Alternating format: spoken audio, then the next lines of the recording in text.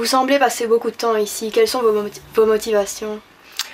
Moi, j'ai toujours trouvé insupportable d'imaginer que quelqu'un n'a même pas un endroit où il se sent chez lui. Où il ferme la porte, hein, comme en tant qu'adolescent, ben, c'est pas encore une maison, c'est une chambre ou, ou, un bureau dans la maison. Et puis après, euh, quand on est plus âgé, ben, on a un appartement ou on a une maison ou un lieu où on a une clé, une porte, on ouvre, on ferme et on est chez soi. On peut laisser ces affaires-là, on les retrouvera. Et ben moi, ça m'a toujours énormément choqué, même bouleversé, qu'il y a des gens qui n'ont rien, pas ça. Donc, euh, ils sont, ils, ils errent dans la rue. Ben, bonjour Luc, euh, merci beaucoup d'abord d'avoir euh, répondu, d'avoir accepté de répondre à nos questions. Euh, tu pourrais me dire comment ça se fait que tu es arrivé dans la rue? Pourquoi est-ce que tu as atterri là ben, Je suis arrivé dans la rue sur une circonstance vraiment. dans toute ma, ma toute jeunesse, j'ai pas connu mon père, j'ai eu un beau-père qui ne s'est jamais occupé de moi. Donc j'ai été livré à moi-même. Et vous savez très bien qu'on est jeune, on fait que des bêtises. Et au lieu de, choisir le bon chemin, ben, j'ai basculé euh, vers les bêtises. Et à 18 ans, j'étais dans la rue. Et euh, tu sais me dire quel problème est-ce qu'on rencontre euh, dans la rue?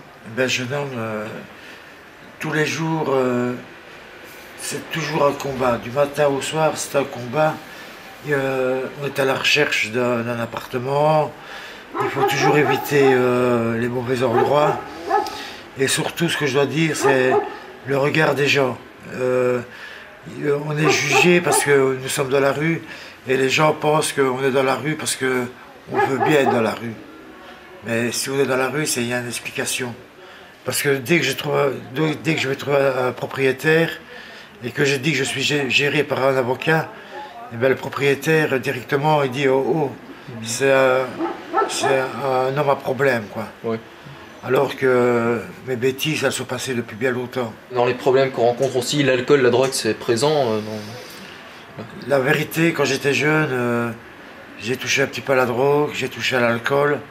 Maintenant, je ne touche plus à rien.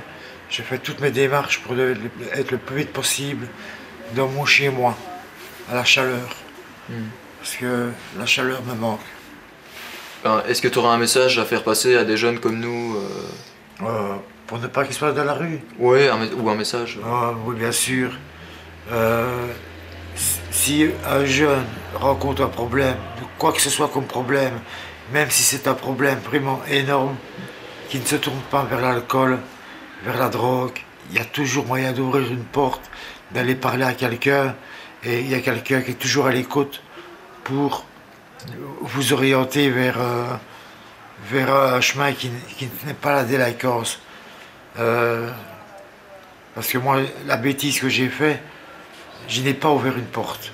Moi, j'ai ouvert une bouteille de bière et j'ai noyé mon chagrin dans la bière. Voilà le message que je vais passer.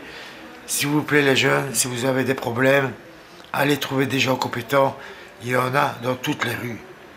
Il y a des ASBL pour les enfants battus pour, pour ceux qui ont des aspitudes, pour les alcooliques, pour n'importe quel problème, il y a des associations. Ce que moi, je n'ai pas eu l'intelligence d'esprit de, faire quand j'étais jeune. Voilà le message que je vais faire passer.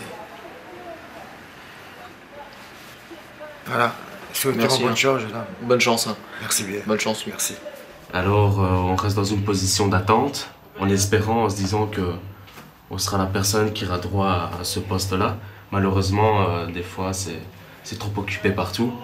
Alors, il y en a de là qui, dorment à la rue et, quand c'est comme ça, ben, ils prennent des couvertures et ils essaient d'aller trouver un endroit dans la rue soit.